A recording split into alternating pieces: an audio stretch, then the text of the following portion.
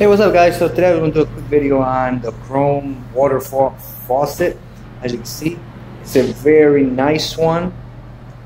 And the water comes out like a little waterfall. In my description, there will be a link to buy it. Look at that.